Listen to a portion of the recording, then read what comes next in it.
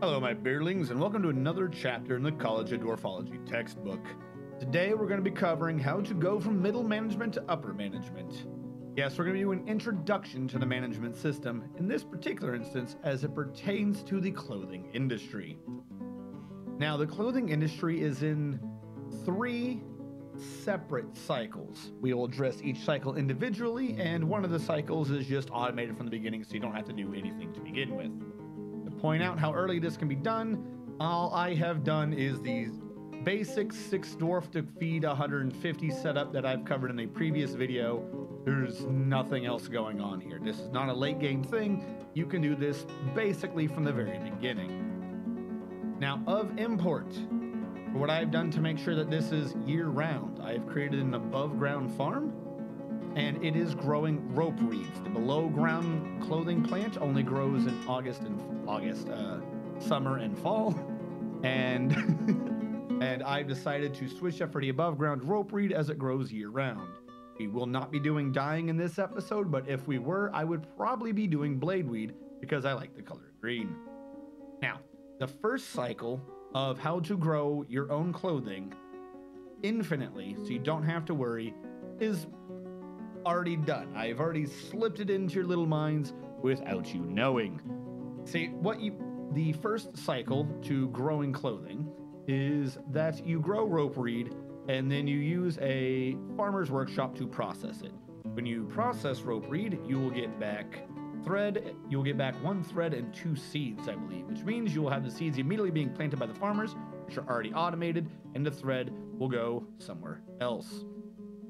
What do we actually need to do for the farmers would require just a little bit of foreground in what a manager is.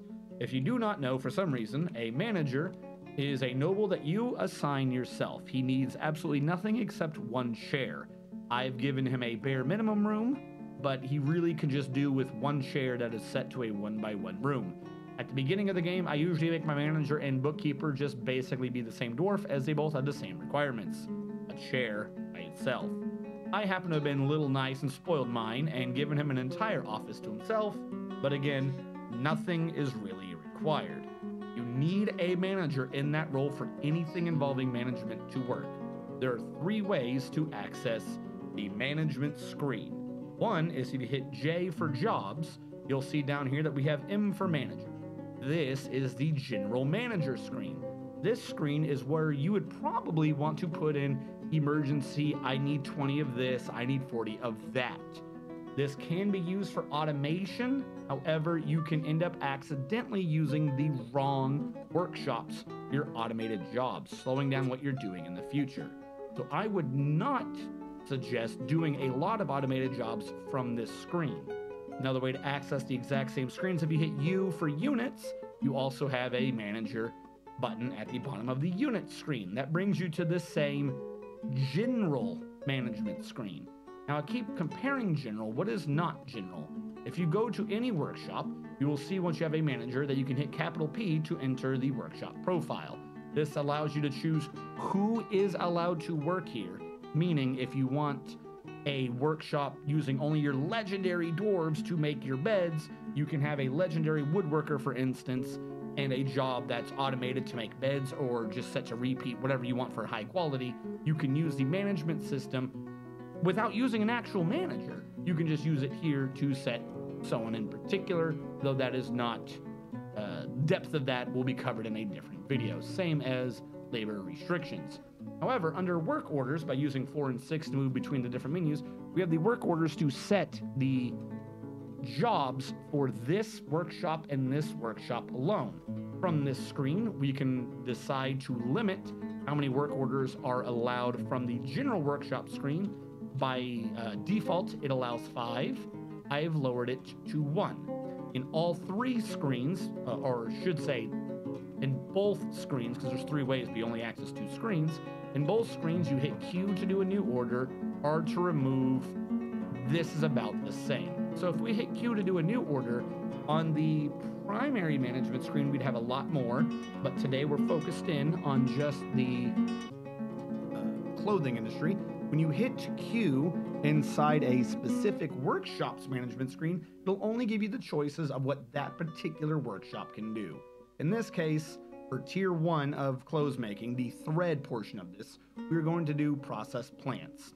Whenever you put in a request for a job, it'll ask you how many do you want to do. That is not how many do you need right now. That is how many do you want it to try to do every time the job triggers. For a lot of jobs that you're going to want to have automated, you're going to choose a number greater than one. This is not the system to use for something you just need to get done right now. Though it can be entered into the general one to save you clicking around your base, do not use this for individual ones unless you're just trying to micro for micro's sake. For the purpose of this example, we'll be putting in five like the one I already have in.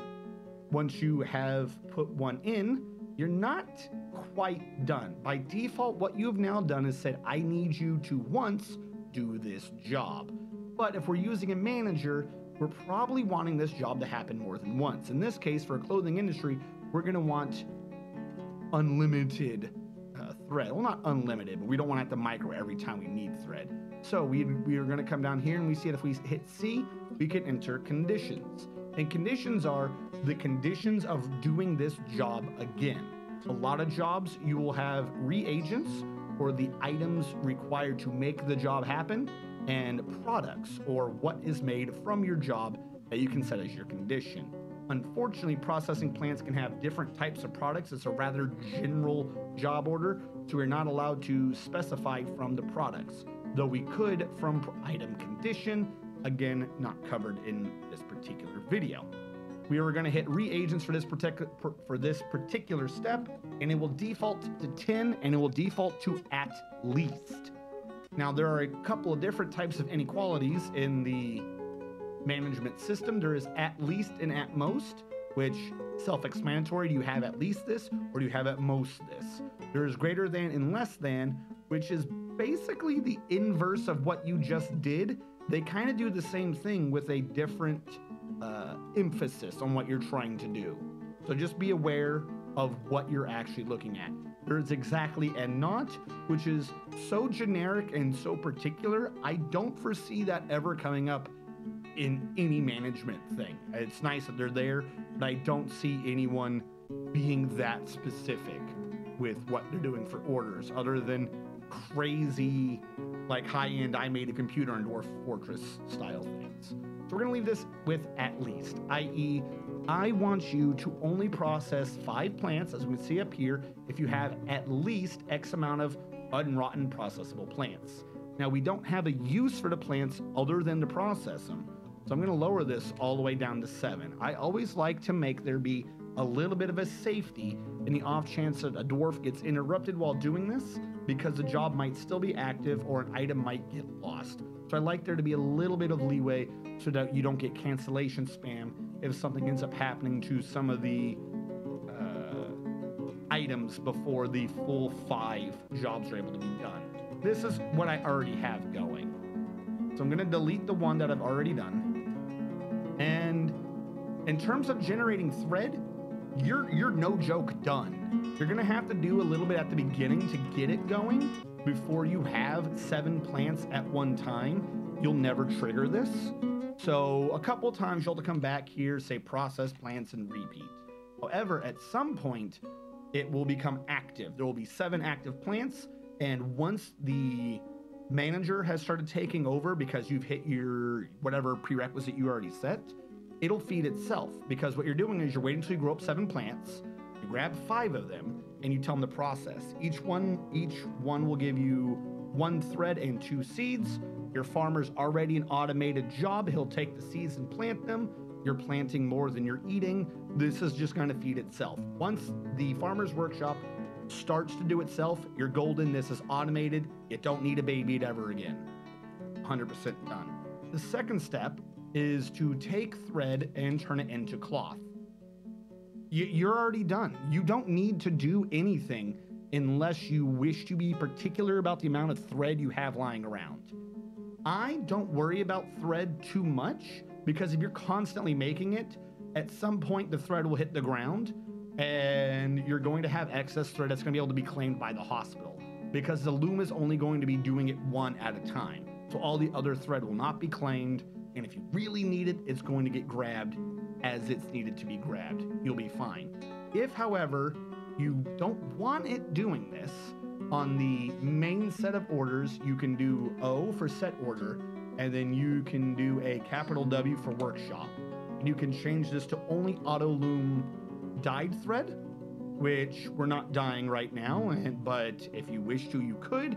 I don't necessarily think that's important, as you can just dye cloth as well, but you could use the dyeing system as a way to regulate how much of your cloth is going through, or you could say don't auto loom at all.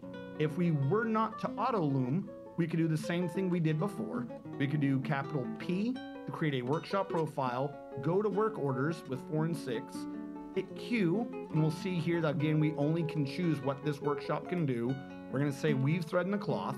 I'm, I'm actually just gonna put in the same orders. We're gonna do a condition of the reagent and set that down to seven or something. And you might have to babysit or actually no you wouldn't it's just eventually you'll have enough thread built up because the system's already just being generated from the first stage that at some point this will start doing it on its own if you were doing it this way or should i rephrase that and say the reason why you would do it this way is for instance if i increase this all the way to 15 what this would mean is that i'll have at minimum 10 thread not being used and you know chance i had a mood or I just installed a new hospital and I want them to grab a ton of thread, like an absolute ton of thread real fast, you can set yourself a limit of, I want you to build this much thread before you start turning it into cloth. In this case, you're paying attention to the difference. At 15, we'll do five, meaning that we'll, we're basically keeping 10 in stock. Unlike the last one, we can do conditions from products. And if I put in a P, I can see whether or not I want it to only make cloth if we have below a certain amount. I don't see that ever at this stage ever being that much of an issue. I don't see why you need to keep that much thread. Probably better to keep it as cloth, but that's on your, you know, your your personal decisions. So I'm to delete all of this because I'm just going to right now just stick to having them do it automatically. Uh, I don't want to pay attention to that or any of its numbers, and I'm not worried about dying right now. So again, default options, stage two handles itself. You're good. Stage three is where it gets a little complicated. So as you can see here, I've actually let this run a little bit and so that it starts generating up cloth. Because this is the most complicated part of this is you don't want them assigning too many things at once and causing an issue.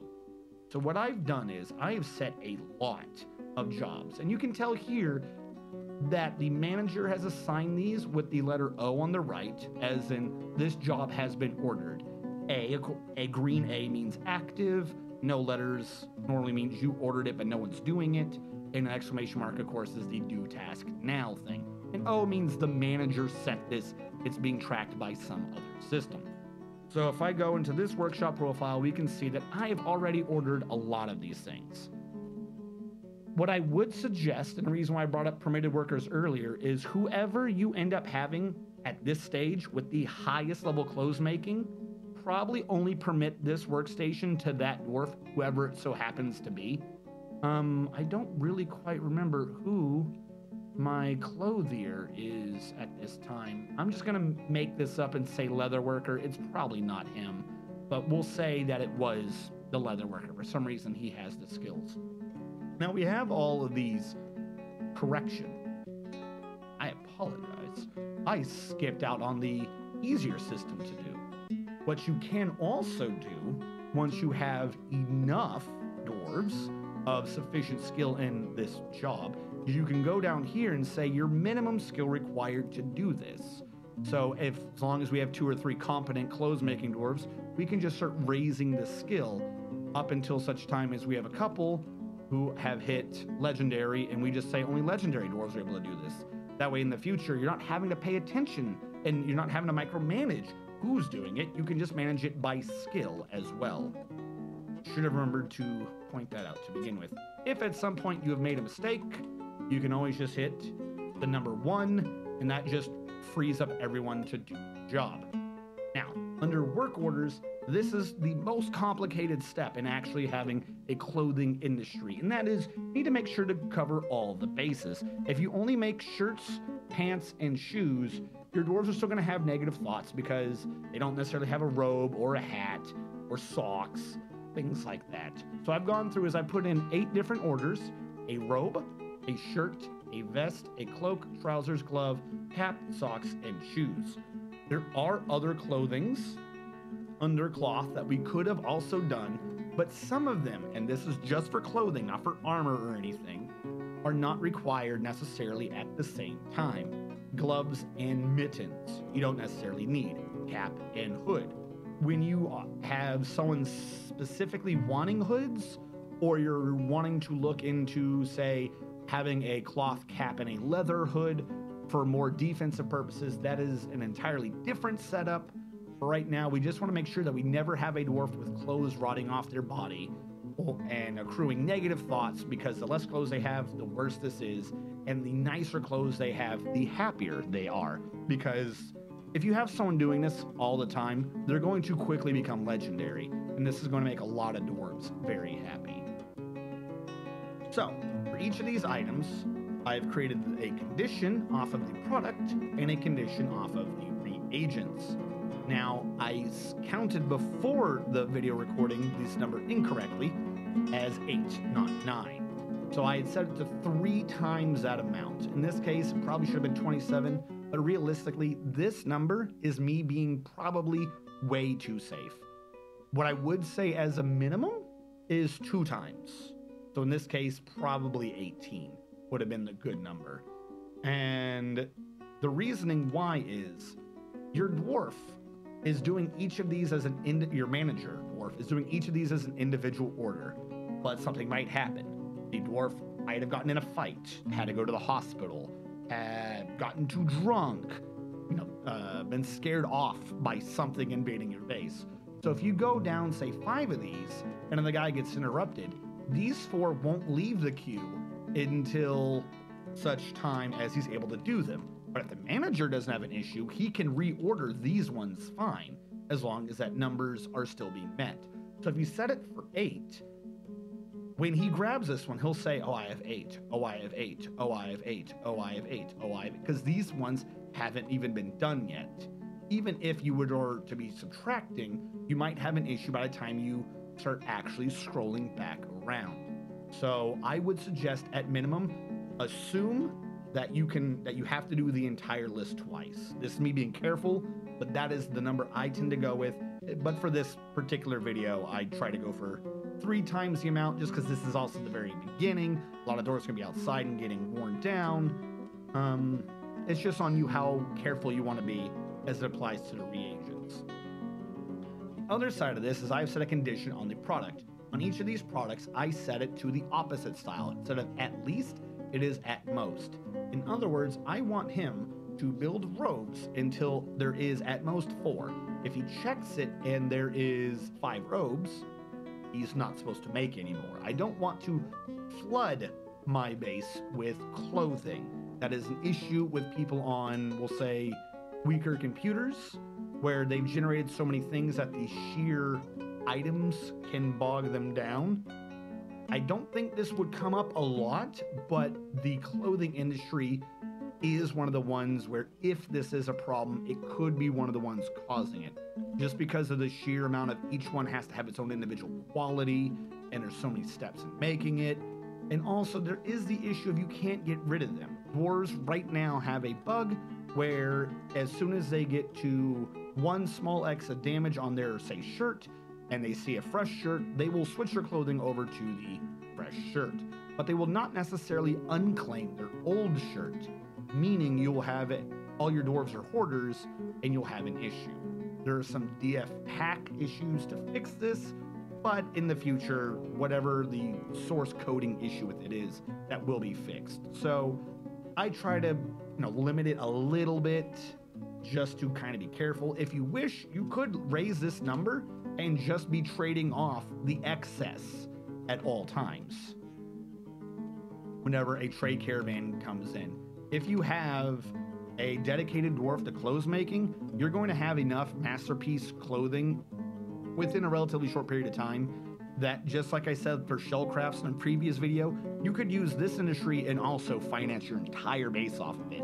If you have both industries going, you are definitely completely fine. If you have these two and the cooking industry automated, you, you are golden and you will never have a problem again, other than your inevitable demise to loss of frames per second. One thing I would point out is gloves, socks, and shoes. Whenever you make these, you make them in pairs. So, when you do the condition from products, make sure to double this. Because every time you're making two, if I said four, I might only have, or I might only have a couple of left gloves, for instance. You want to make sure that you have these these numbers for anything in pairs slightly higher. Gloves, socks, shoes. If you have an automated metal system, it would be gauntlets armor and high or low boots would be the numbers you'd want to make sure to double up on. Once this is done, and again, that, that first bit, you will have to prime the pump, so to speak, and tell this one to repeat at the beginning until there is enough plants going around. But you get more seeds than plants. This grows itself, and you don't need to do anything from this. Because this is automated and grows more, and because the second step is automated, you really don't need to pay attention all the way up to the cloth phase. They're very simple, they handle themselves a little priming. There is some fiddliness with getting all of these orders in, but once they're in, it will go. You just have to have faith in it. It, it will eventually start being able to automate itself. Your big issue in this system is going to be at some point cut back on cloth production. You are going to end up making more than this guy is go- than a than one of these is going to be able to do. If you start doing two or three of these all doing the same thing, or you increase the numbers, this is going to cause a snowballing, possibly runaway effect. So you will at some point have to artificially constrain what you're doing. Um, in that case, what you're going to have to do is tell the farmer's workshop to stop. The because there are different plants that can be done out of processing, you cannot do a condition from a product. If this video has been somehow educational or entertaining, give the video a thumbs up and definitely give the channel a subscription so that we can beat that most horrendous of efficiency losses, the YouTube algorithm. Thank you so much for watching. Catch you guys next time.